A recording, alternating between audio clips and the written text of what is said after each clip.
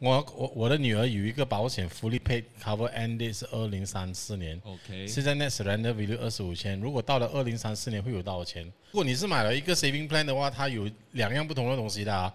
有些 saving plan 它每一年会给你 cash value 的，这种 guarantee 的，千多两千块，千多两千块那种啊。所以再加那个 dividend 的利息的话啊，它可能二十五千到你十年过后啊，我相信你这个 policy 应该是买十年还是买六年的吧？十年过后满期的话，对不对？它可能会有大概 maybe 一点五倍到一点七倍你给的钱，就讲二十五千可能会加到三十多千到四十千啊，四十千到四十五千左右。